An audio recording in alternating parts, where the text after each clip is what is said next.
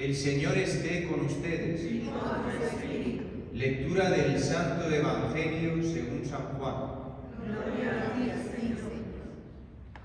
En aquel tiempo Jesús dijo a Nicodemo, Nadie ha subido al cielo sino el Hijo del Hombre que bajó del cielo y está en el cielo. Así como Moisés levantó la serpiente en el desierto, así tiene que ser levantado el Hijo del Hombre para que todo el que cree en él tenga vida eterna.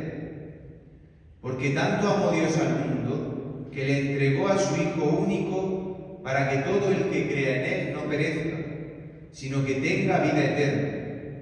Porque Dios no envió a su Hijo para condenar al mundo, sino para que el mundo se salvara por él.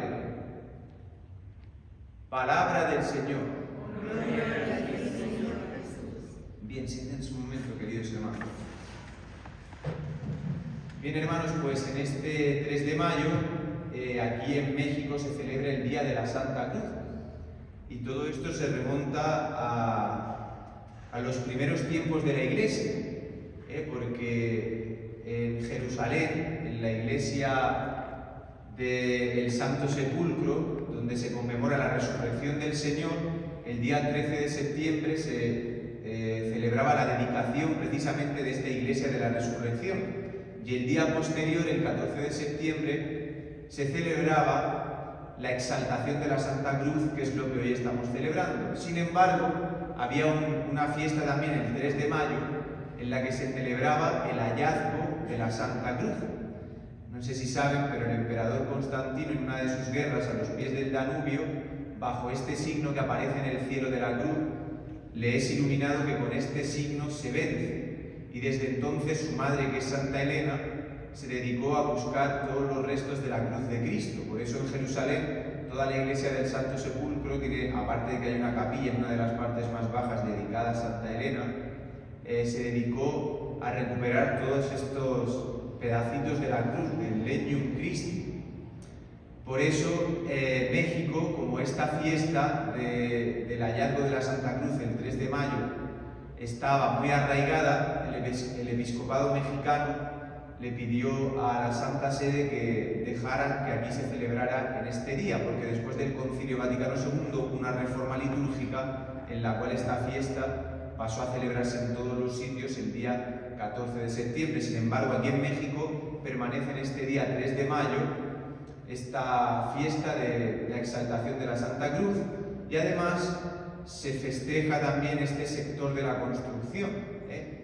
Del cual pues esta Santa Cruz es- tiene el patronado.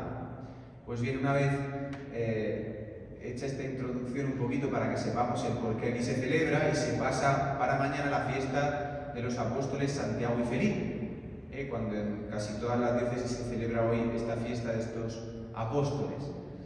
Pues bien, hermanos, hoy la liturgia eh, en torno a la Santa Cruz nos ubica en el Antiguo Testamento en este pasaje del desierto, en el cual eh, el pueblo ha dudado, eh, se ha corrompido después de ver las maravillas que Dios ha hecho por ellos, han caído en la idolatría.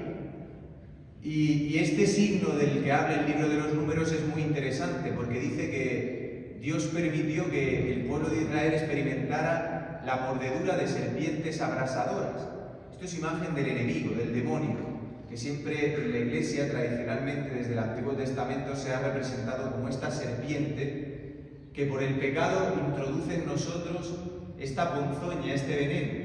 Por eso el pueblo de Israel ha experimentado esta mordedura en el talón y el pueblo ha muerto, porque efectivamente el pecado en nosotros engendra la muerte. Aunque sigamos viviendo físicamente, sin embargo, nosotros experimentamos la muerte por el pecado. Por eso muchas veces estamos así, tristes, acongojados, apesadumbrados, y pensamos que el problema es todo lo externo, y no paramos a repararnos que lo que verdaderamente nos mete en la tristeza es nuestro pecado, nuestra falta de unión con Dios, el haber cortado con Dios a través de los distintos sacramentos de muerte que hemos hecho por el pecado.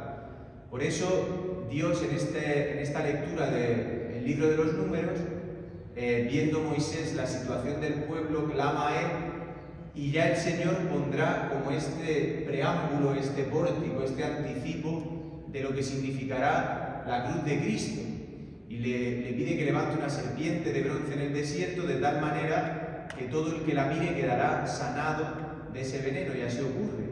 ¿Eh? Moisés levanta esta serpiente de bronce, fíjate qué tontería, ¿no? Podría haber dicho otras muchas cosas, pero no. Levantar esta serpiente de bronce y todo el que la mira queda curado. Y esto es imagen de la cruz de Cristo. Ya desde el Antiguo Testamento se está anunciando la misión de Jesucristo, a lo que Cristo ha venido al mundo, que es a que la muerte ya no tenga poder en nosotros, a que el veneno del enemigo sea vencido en la cruz de Cristo. Por eso eh, dice eh, el Evangelio, concretamente San Pablo, eh, habla de, que la cruz es escándalo para los judíos, necedad para los gentiles, pero fuerza de Dios para todos los que creen en Él. Por eso este mirar la cruz de Cristo es creer en Él, aceptar esta cruz. La cruz ha sido, hermanos, el elemento con el que Cristo nos, nos ha pescado, es el anzuelo. Porque si tú y yo no tuviéramos la cruz, si teniéndola muchas veces somos duros de servir, eh, nuestros sufrimientos, nuestras debilidades, nuestros pecados son los que nos acercan, iluminados por la palabra, a mirar esta cruz de Cristo. Eh, por eso no hay cristiano sin cruz, la cruz es el signo del cristiano. Donde hay cristiano hay cruz. Y esta cruz es una cruz que a los cristianos se nos revela como gloriosa. Por eso esta fiesta de la Santa Cruz siempre cae en Pascua, porque verdaderamente este es el trofeo. La victoria viene después de la cruz.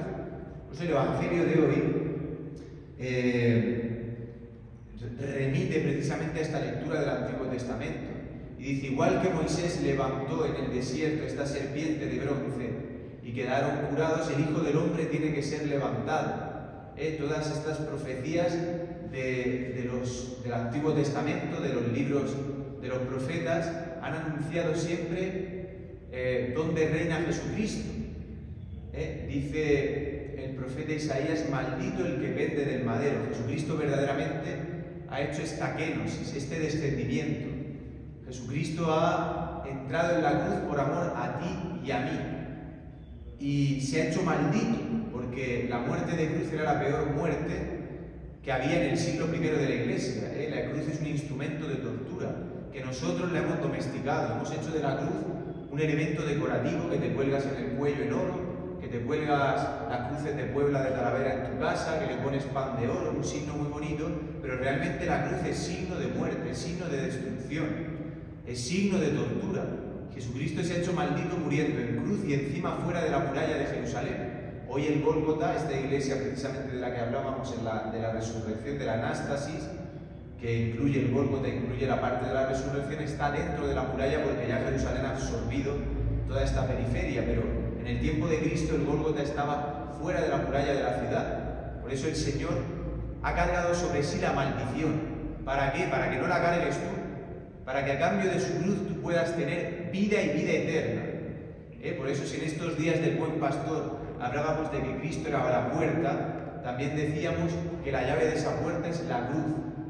Por eso nosotros, hermanos, todos los días se nos presenta esta dialéctica, este dilema, en el que el demonio te dice, avienta la cruz, suelta la cruz, no cargues tu cruz, la cruz es una maldición.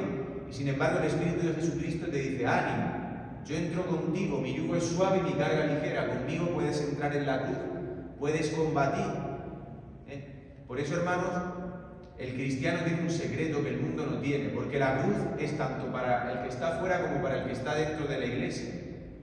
Pero la diferencia es llevar esta cruz unido a Jesucristo o llevarla tú en tus fuerzas. Y esta cruz, llevada en tu fuerza, te aplasta, acaba contigo. Sin embargo, esta cruz, llevada unido a Jesucristo, es el misterio de nuestra salvación. Por eso esta liturgia hoy nos invita a ver este leño, el leño verde que ha sido Cristo. Dice este himno de, la cruz gloriosa del Señor resucitado, dice, si esto hace con el leño verde, ¿qué harán con el leño seco? ¿Eh? Si esto han hecho con Jesucristo, pues hermanos, eh, carguemos hoy nuestra cruz. El Señor nos invita en esta fiesta esto. ¿eh? No por casualidad, hoy se celebraba el hallazgo de la Santa Cruz. Yo no sé si tú tienes iluminada tu cruz, si has hallado cuál es la cruz en tu vida, ¿eh? pero todos tenemos una cruz que nos conduce hacia Jesucristo y hacia la salvación. Pues hermanos, en este mes de mayo, que es un mes de las flores de la vida, eh, no sé si en mi tierra se celebra esto de los mayos, ¿no? que va con una tuna cantando a las distintas cruces de la ciudad y además en Caravaca de la Cruz, que es una ciudad santa y en mi región en Murcia, se celebra, hay una indulgencia plenaria y está un trozo de, esta, de este leño Christi, eh, de la Santa Cruz, de la Vera Cruz. Por eso, hermanos, eh, hoy es, es un día importante en el que el Señor nos invita a mirar la cruz, a poder verla sin escandalizarnos, a poder ver que esta cruz de Cristo habla del amor que Dios te ha tenido a ti y a mí. ¿Eh? Esto es lo que, lo que significa la cruz. Por eso cada vez que veas la cruz, acuérdate de lo que, del precio de tu salvación, ¿eh? de lo que Dios te ha amado, que ha sido expresado en esta cruz en forma de té, que habla de ti. He subido por ti, ¿eh? he muerto por ti, para que tú ya no tengas que sufrir la consecuencia de tu pecado, sino que este pecado queda saldado en mi cruz, para que tú tengas vida y en abundancia, como decía el Evangelio del buen pastor. Pues ánimo hermano, que el Señor nos conceda la alegría de ver que Cristo nos ha amado y nos sigue amando en esta dimensión de la cruz, que es tener la muerte vencida, que es poder amar al enemigo como Cristo lo ha hecho en la cruz. A eso nos invita el Señor y esta fiesta, a poder amar en esta dimensión de la cruz al otro, que ya no nos quitan los defectos de los demás ni los pecados de los demás la vida, sino que el cristiano ama en la dimensión de la cruz, con la muerte vencida, puede amar por encima del bien y del mal.